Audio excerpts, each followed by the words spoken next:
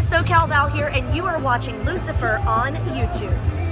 Hello, you beautiful creatures. How the devil are you? I hope you're well. If you're new here, my name is Lou, or Loucifer, as my friends like to call me. By my friends, I mean my ever-growing army of demons. Yes, yes, I know, my shades are coffin-shaped. Uh, I've just come back from a work do, yes, and it was wonderful.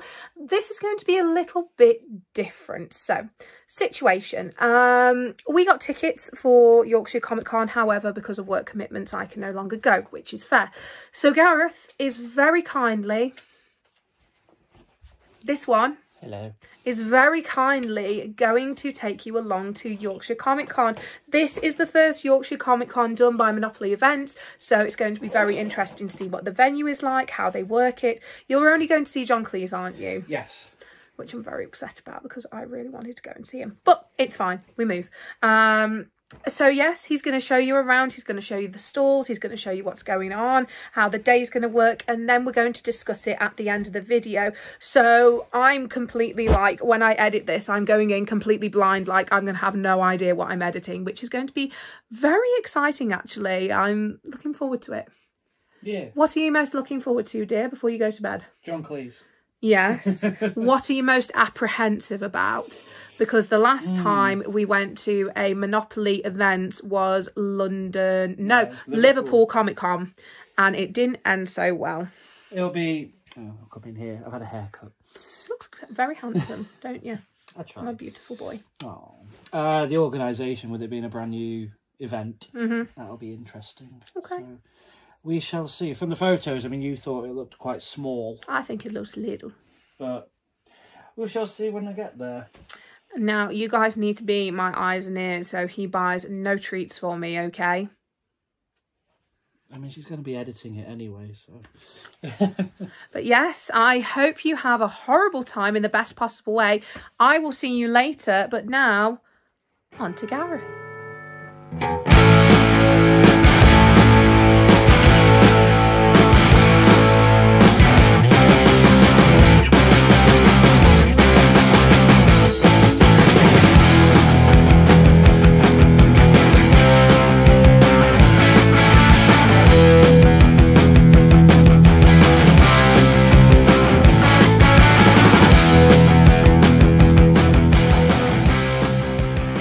Morning.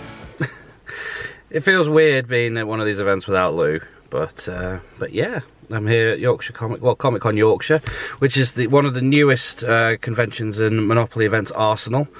Um, yeah, it's, uh, it's been a lovely drive up here, two, uh, just over two hours. That's including a stop off. And there's actually not that many people here, and we've got about 50 minutes until the event opens. They could open early, you never know. Um, so, the plan for today is that I'm going. Oh, what's going on there? Uh, first things first, I'm going to go meet John Cleese. Uh, he's the only meet and greet that I've got for today.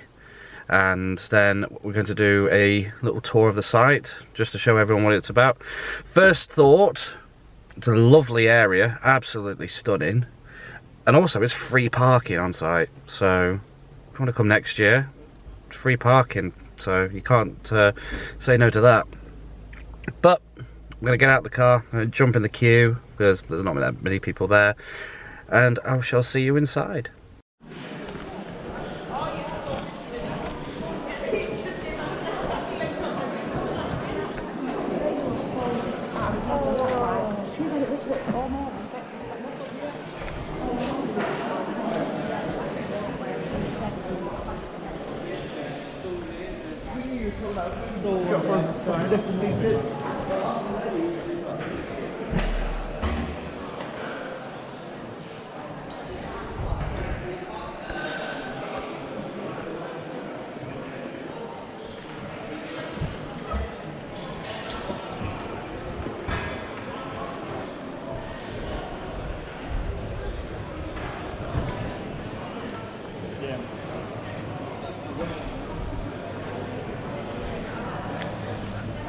So, just as I predicted, we're in early. So just having a little walk through the stall. So I'm going to do a bit of a venue tour in a bit after I've met John Cleese. Just heading down to where all the guests are. But as soon as that's done, then it's just waiting around until John does his talk. So the way they're working it for this con is that you enter through hall number two, and then you have to walk all the way through into hall number one, and that's where all your guests are. I can see they've set up ready for James Marsters, Danny Glover. Just looking for John Cleese.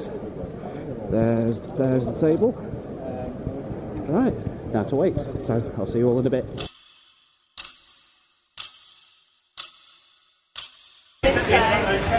Okay, so I'm trying to come off cloud nine at the moment. So yeah, I just met John Cleese.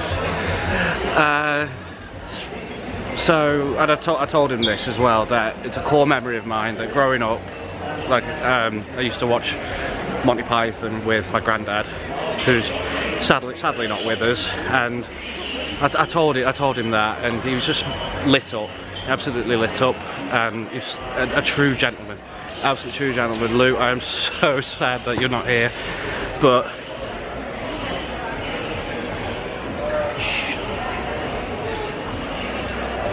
yeah, I had to. Just she she wouldn't forgive me otherwise. But yeah, uh, so that's my autograph done. I'm now wandering around, getting my bearings, just walking to the cafe. Gonna have a little look at the merch, and then I will do a full venue tour. But yeah, was queuing for John, had lovely chats with Neil. Uh, Neil from Monopoly Events, who's he's almost like the face of the Love of Horror. Always there on the lives, so gave us some really cool tidbits and stuff I can't say. I'm not going to, but it's very exciting what uh, they've got planned for For Love of Horror. But yeah, gonna have a look around the trade stall now, and then I will be back with you for a full venue tour. So on my little tour, I have found our very good friend, What up? Dean of the Dead, or, or as we start calling you, Dean of the Dean Sauce. of the sauce. Someone else calls me Dean of the Ribs. I don't know why. I don't know why, because I don't do anything to with ribs. But hey, Dean of the Sauce, Dean of the Dead, whatever. I've been called worse. Now, because I, I've met John Cleese and Lou sort of hasn't, as punishment, well, let's say punishment, I have got to try one of Dean's sauces. However, Dean has come up with a lovely idea to wait for Manchester. Now, Dean, explain what I'm going to be in for. So um, I thought for reaction purposes it would be good to for you to try uh, one that we call Monster Mash. Uh, that's the hottest one we do. So it's, bur- it's bourbon, it's lime, it's Carolina Reaper mash, it's a bit of 9 mil extract. Um, so I think purely for reaction purposes for the camera, that's the one you need to try. However, we sold out, we don't have any with us, so it's a very lucky escape for Gareth this time. Yeah. but tune back in on the Manchester vlog and you will be able to see this man perspiring someone. And also, Lou will be there to witness it. So, uh, yeah. yeah, things I do for love. Cheers, Dean. No worries, man. No worries. Alrighty then, so I've just got my bearings, so now I'm going to give you the full venue tour. So, as you, en you enter through this side here, and you walk into this one, which is known as Hall 2, and this is where well, mainly half of the vendors. Uh, so I've, I've had a walk around, so you've got all your, your art, your Funko Pops, Dean, can't forget Dean. Quite a few vendors that we've seen before on the channel. Also in this side, in this side of the hall, we've got toilets either side. But yeah, this is a really big venue. Nice and spread out as well, compared to if you saw the, some of the other vlogs that we've done at Wales, uh, London, Liverpool. These are incredibly spaced out. Also, I don't think there's actually many people here today, which um, I think for a first convention is actually quite surprising. But yeah, this is the main, this is the uh, first vendor hall. The toilets in each corner. Then moving on, I'm going to keep going through here. Pigeon Creek Studios as well. These are always an absolute delight. Then to get to Hall 1, we'll come down this side and we have to cross to the cafe. Which I probably will come in here for a little bit of lunch, just a little snack. But a nice spacious cafe. Selection of hot food and also the veranda's open as well. And as we walk through into Hall 1, we've got a couple of dinosaurs. you gotta love your inflatable dinosaurs at conventions.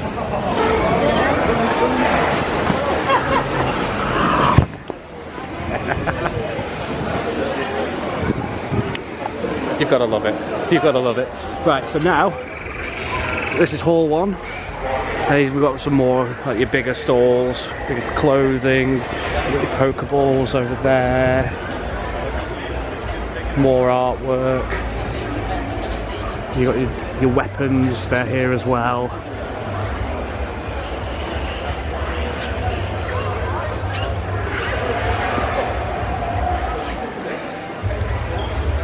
Project Donut. I will be back.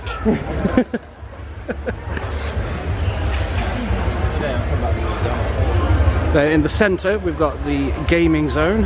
So you've got all your classic games, you've got PlayStations, Sega. Set pieces and prop builds running down this side. And then as we move more into the into the venue, this is where they'll be holding their talks. Oh, friend of the channel, Mike, is sat down there taking the cosplay masquerade. SoCal Val, who's going to be doing the talks, sat there over there. We're going to be down, coming down here for John Cleese's talk. Then official Monopoly events merchandise.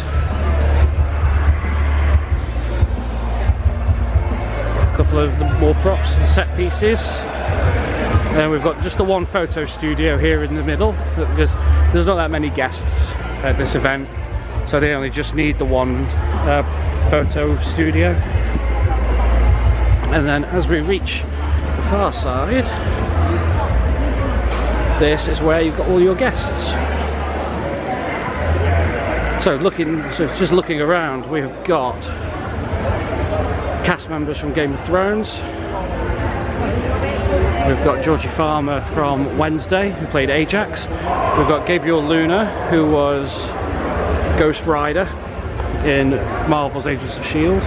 Zach Galligan, everyone knows from Gremlins. The legend that is John Cleese.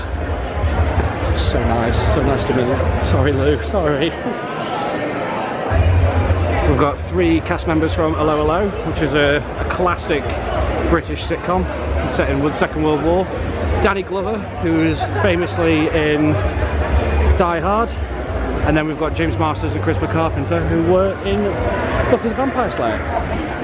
That is pretty much it. So, quite a small convention. I'd say the venue is brilliant. I think it also helps that there aren't that many people here. So, you can easily walk around and just take it all in, enjoy yourself. So, yeah, I, have got no complaints. I've, even though I've, I've, only come for the one guest, this has been a really good day so far. I'm practically finished. I've got to wait until quarter to three for John Cleese's talk. Oh, the ice cream! And then through here, so they've got a few more set pieces. I did see on the map there is also a quiet room as well, so if things get a bit bit much, you can retreat. Oh, we've got another cafe. So if you find if you think that the first cafe is a bit much, uh, you can always come to this one. This one's dead. There's no one here. And then this is where you exit the venue. All in all, I'm really impressed. Compared to Liverpool, I prefer this one. If they had any more guests, I think it would be a bit much personally. But no, I'm, I'm really I'm really happy with this. It's going to be a good day. It's going to be a very good day. Just been on my rounds. We have to do a little shout out for Shadow Goulette, representing our favourite band, Ghost. As you can tell, with the tattoo and the hat. but yeah, we'll hopefully see you at a gig soon. Where are are you, Lou? I'm your number one fan.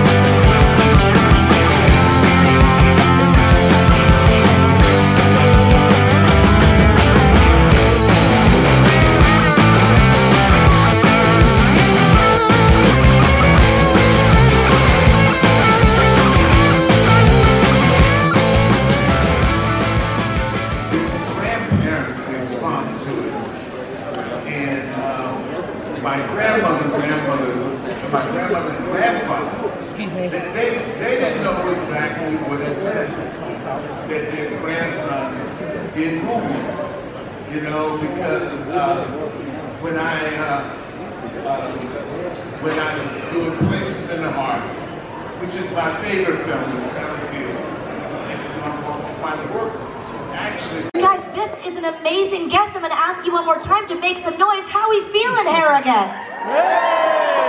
Please help me welcome to the stage, John Cleese.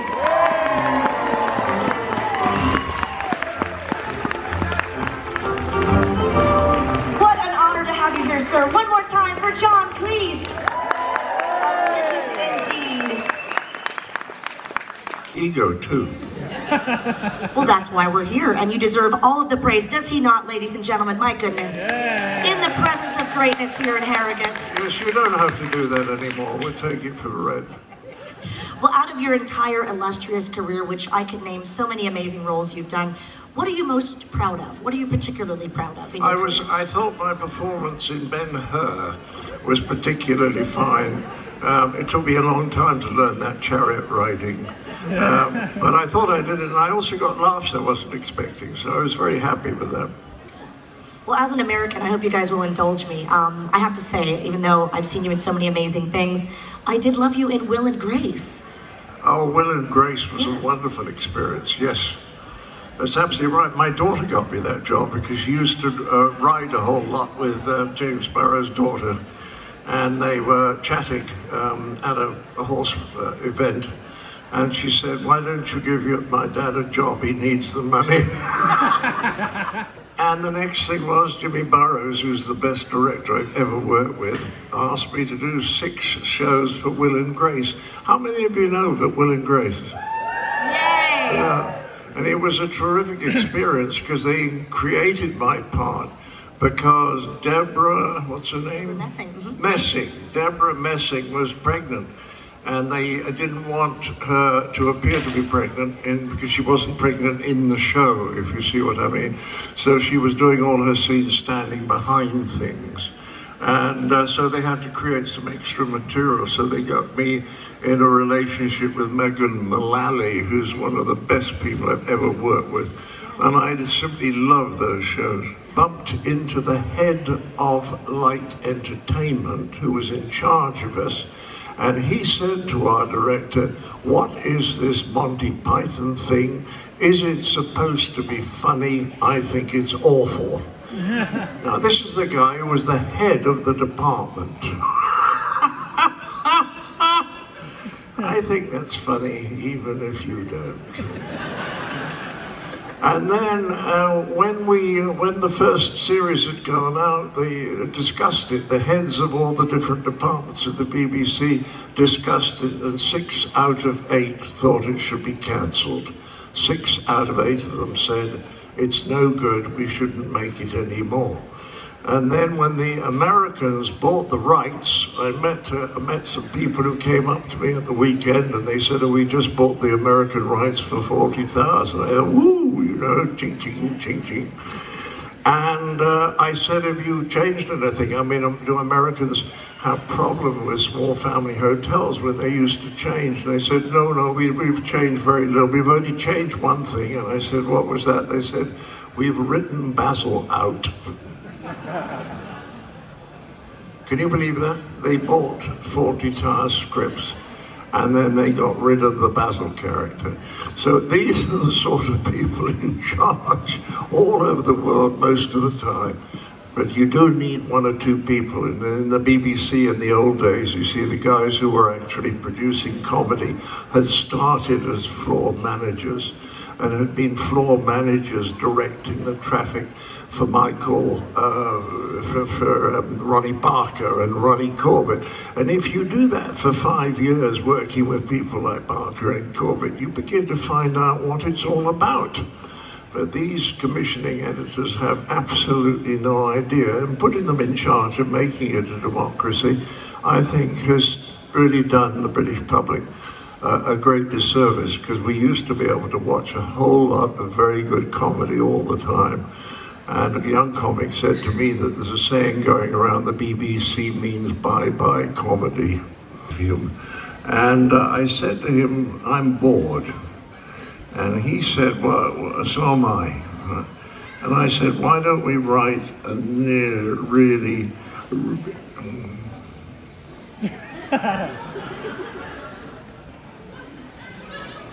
Is that it? Oh, uh, why don't we write a really naughty sketch that will upset everyone? Wait, sorry. I thought we were going quite well then.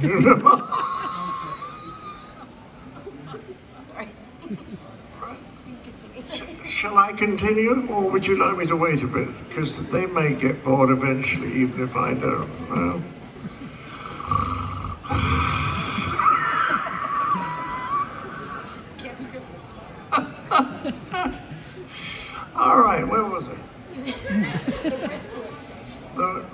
yes, that's right. So we decided.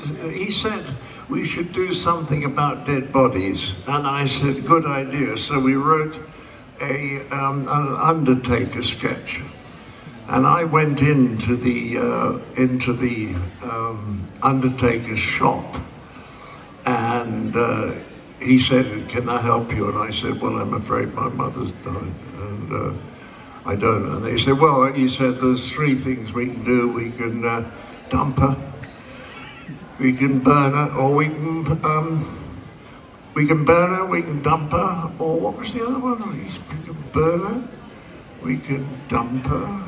What was the other one? Oh, well, that's right. Or we can stick her in the ground. and I said, well, what are the advantages? He said, well, you know, burning is quick. It's not, it's not good if they're still alive, but it's still quick. uh, and he said, and then dumping her, we just put her in the Thames. It costs nothing at all. Um, or we can bury her. And then again, uh, that's not great if she's still alive. Uh, you know.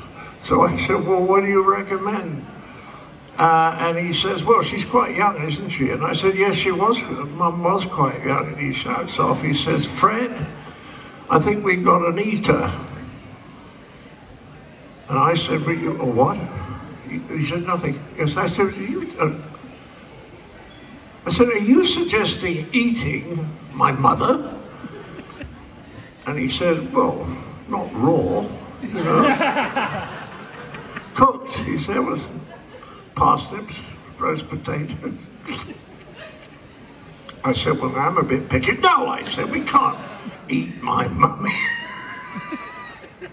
it's the naughtiest sketch we ever did. And the guy who was in charge, Michael Mills, who was great, Michael said, you can do it because it's so funny, but only if the audience invades the set in, pro- in protest at the end. So that's what we did. And I still do the sketch sometimes, and it is absolutely outrageous. And people get out of control because you see, if you get into these slightly edgy areas where people are a little bit anxious, you know, what I call taboo areas. If you start making uh, jokes in the areas to do with taboos, like sex is still a taboo, you know, violence is a taboo. And think of Fish Called Wanda, you've got somebody uh, there, Michael Palin's trying to kill the old woman, and he keeps killing her dogs.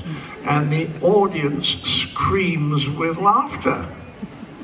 Now, how can they be laughing at, at somebody who's killing dogs? And the main reason is that the dogs are Yorkshire Terriers.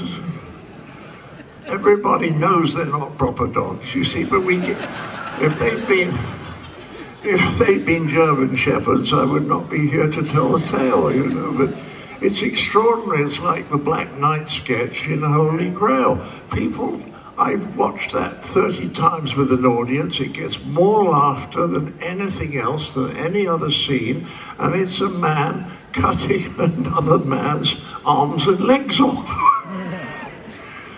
you see, now some people can see that it's funny because it's the idea is funny, whereas the reality would be appalling. And the problem with literal-minded people is they can't see it as an idea. They can only see it literally for what it is. And this is the great problem with uh, literal-minded people, is that they don't have the same sort of minds that we do. And this means that they really cannot enjoy the sort of humor that most of us enjoy. I just find it interesting and hilarious that we're talking about Yorkshire Terriers as a taboo subject in Yorkshire. That's perfect, right? Well, I noticed it didn't get much of a laugh, so I will say, I will say Lancashire Terriers. Perfect. That's what we were killing in 1973. And what happened was, earlier on, a guy had come from the public uh, broadcasting station in Boston, which was uh, called um, uh, GBH, GBH Boston, which is police called grievous bodily harm. This is what I'm always able to remember. But GBH came and they sent a guy and he met us and sat down to watch a couple of episodes with us. And uh, he watched it and when the lights went up, he was white as a sheet because he was realizing what would happen to his career if he had anything to do with Monty Python, because we were so bizarre in those days compared with anything on American television. And he sort of mumbled a, a, um, a, a sort of greeting or a, farewell and disappeared into the distance. We never heard from any of them again. And then what happened in 1974 is quite interesting. And I only got this story three years ago from the guy who could tell it. Um, and he was he was running the the Dallas PBS station, and he said that when he was shown Monty Python, he had heard that it had been turned down in New York, Los Angeles, Chicago, Boston, everywhere, everywhere with a big PBS station had turned it down. And this guy's name was Ron de Villiers in Dallas. He liked it. He said, I'm going to stick my neck out. And he put it out. And the response of the people in Dallas was terribly good. And all his friends from the other PBS station were saying, what happened? Did they burn the station down? Did you get stoned on the way to Earth? No, he said, it's fine. And then they put it out everywhere. But if Ron de Villiers, who's up there now, bless you, Ron, if he hadn't put us out, we would probably never have been heard of. Isn't that extraordinary? And it shows how much of life is pure luck, pure luck. Um, you're very Are you, a, are you a pirate too? I'm not quite, no. Um, I lost my hat. oh, all right, all right. So we'll have a non-piratical. Oh, now Apparently I am. She's got the hat on. We can have a slightly piratical question. So you're very prevalent on Twitter. Um, what's your favourite account to follow and which one do you love to hate to follow? I like my own. I think it's really top class. And I go to it straight thing in the morning to try and remember what I wrote the previous night. And sometimes I make good jokes, but also I think that this country is in an awful mess at the moment. And so I do tend to put out some more serious things because I think that we need to aim into a direction. I think the first thing we have to put right is we have to get a press that we can trust the the statistics there's a company called not a company a group called the European Broadcasting Union and every year they ask a thousand different people in all the European countries about trusted printed media not TV but printed media. And we are last almost every year. Occasionally we get above Malta. On one occasion, we were rated better than Macedonia, but most of the time we are rated worse. That's the British people saying whether they have trust in British newspapers. And until we get newspapers that are reasonably fair and trying to put out a balanced opinion, then I don't think anything in this country is going to happen. The other thing that I think has to happen in conjunction with that is the introduction of proportional uh, re- representation so that we have several parties and coalition governments, because coalition governments are a very good way to stop corruption. And the corruption of the recent Tory governments has been, I believe, unbelievable. It has been something I would not have thought was credible or possible 30 years ago. The degree of corruption is just awful, and it is people going into politics who are not very talented as they used to be, and are really just um, using their position to make as much money as possible. And I never thought British politics would be like that. So I'm a bit more serious than usual, but I'm still able to make good jokes. I mean, when when Piers Morgan says, when are you going to be funny again, please? It's been a long time. I can say, when are you going to be talented? It's been a lifetime. now, once, once you've done that, once you've done that, they tend not to come after you so much. First of all, it has to be Fawlty Towers. Yes, and your question is? yes. Um, I was just going to ask, um, where did you get the inspiration for Manuel? Well, in the 60s, I tell you what happened, it was quite interesting. English food used not to be good. Uh, it really was very poor. And the reason that the food was so poor is we had an empire to run. And people didn't want to eat for pleasure because there wasn't time. There was an empire to run. So they ate for fuel. Do you see what I mean? My parents weren't interested in the taste of food. What they wanted to know was, was it hot? Do you see what I mean? So we treated food as fuel. Then we lost our empire and we looked around and thought, well, we can eat better now. Unfortunately, at that time, there were some Italian restaurants for the first time in the early 60s in London that were very wonderful. And then the restaurateurs realized that they didn't have to pay people proper wages if they could bring them in from abroad. And then we went through a period where all the waiters didn't speak very good English. And I used to say um, I had about a 50% chance of getting the dish that I'd ordered. Do you see? Literally 50% chance. Sometimes you got lucky. And so I noticed that most of the waiters at that point happened to come from Spain. So when I started to write Fawlty Towers, I thought if I make him Spanish, it will be not because it's rather a wonderful civilization with some extraordinary artistic achievements, but that one person from Spain is not stupid And he's always nice and good natured and kind and desperate to do the right thing. But he doesn't speak very good English, and it's worse than Basil Spanish. and I just think that miscommunication is very often very, very funny. What happens is that people then say, oh, so you're saying that all Spanish people are stupid, are you? You know, it's a bit like saying, let's ban Hamlet, because Hamlet is a, is a stereotype, you see? He's a, a, a suicidal uh, Scandinavian, so it's a, so it's a, right, it's a stereotype. So we can't have that. We can't have Macbeth anymore because he's a violent Scots person. And we all know that Scots people are universally violent. Uh, so to take one character and then assume that you're referring to the entire nation is, of course, absurd. But I will tell you something funny. When Fawlty Towers first went out in Barcelona, of all cities, it suddenly disappeared from the Barcelona television screens for several weeks. And when Fawlty Towers returned, Manuel was Portuguese. And when the Americans did versions, he was an Iraqi in one, you know. But it doesn't, just because you portray one person, it doesn't mean that you're trying to pretend that the whole nation is exactly like that person. And that's the kind of extraordinarily stupid thinking that you only get from people who are literal minded, which is why there are such a threat to culture in every possible way.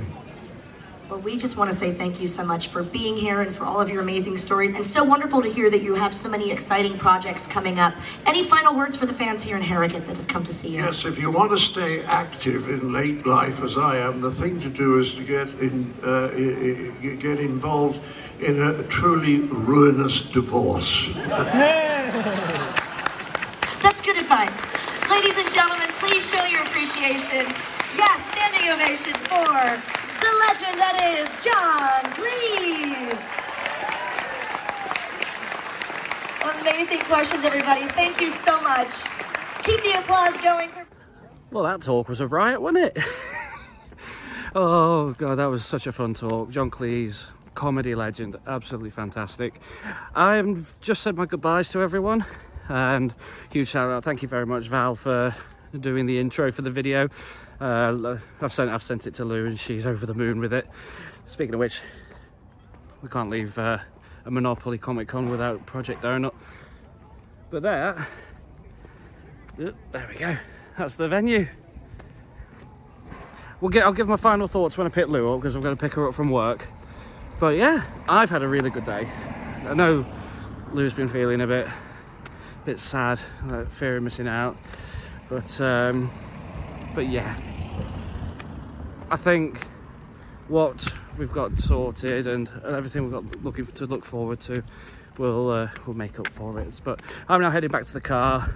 I'm going to stop off at Meadowhall on the way back, get some food, and then the next time you see, see me, I will be with the woman, the myth, the legend, Loucifer. So, see you in a bit. And we are back again. I am cripplingly depressed. Did you guys um, see Lou in the vlog? She was everywhere.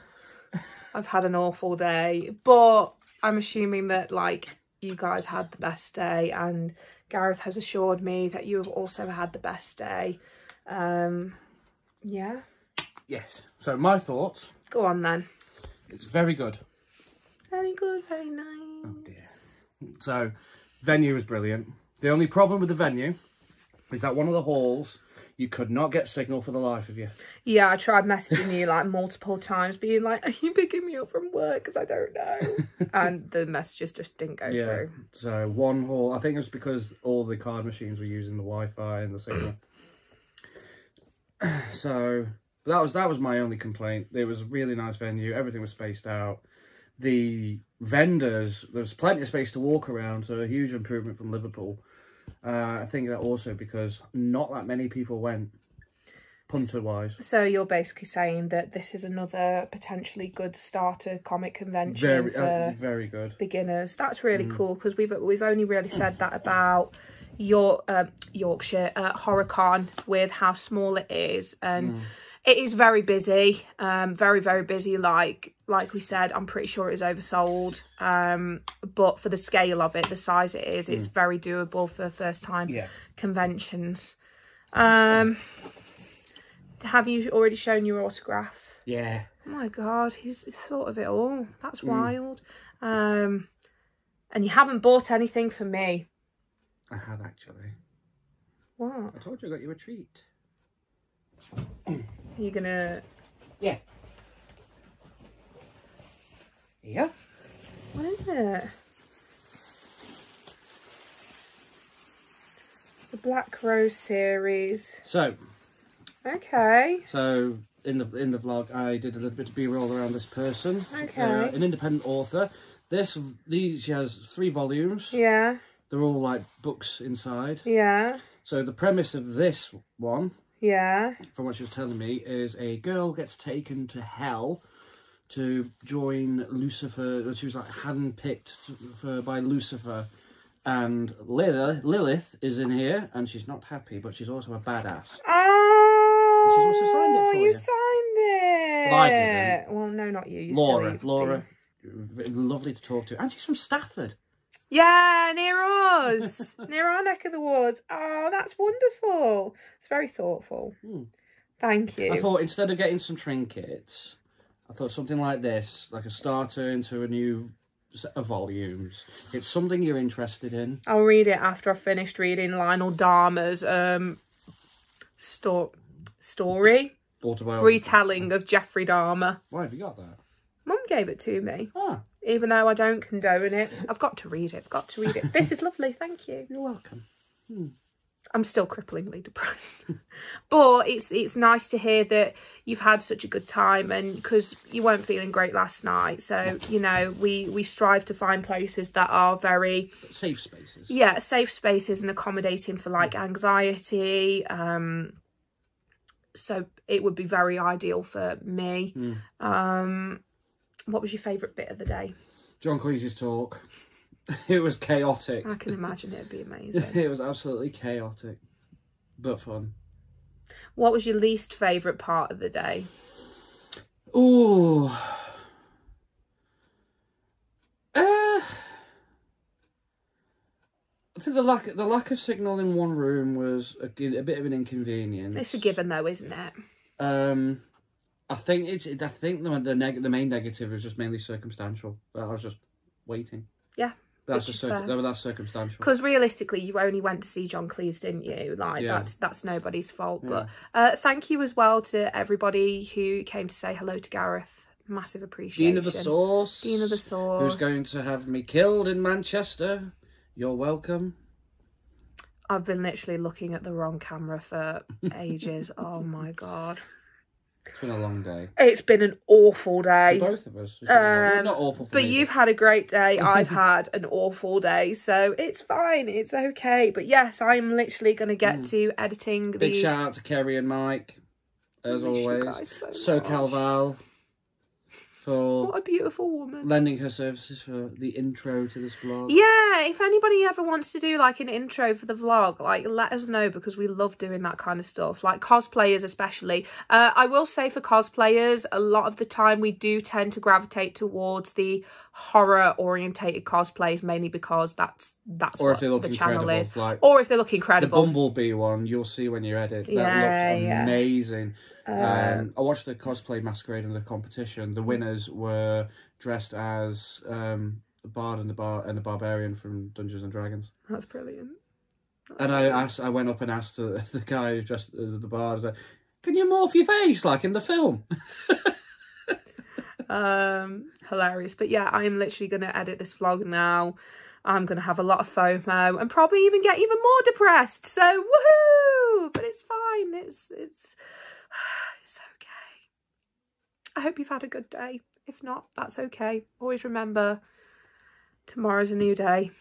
See you later guys. Download. download! Bye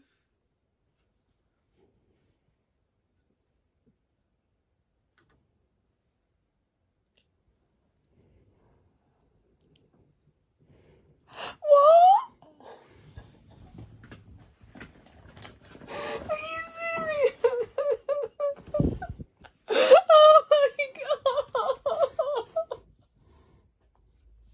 I was planning to do this reveal. Thank you. I used some of my birthday money towards it. Thank you. This is a behind the scenes look at Loucifer. You're sending this too. I've had the worst day. This has made me so happy. Thank you. You. And that's actually the end of the vlog.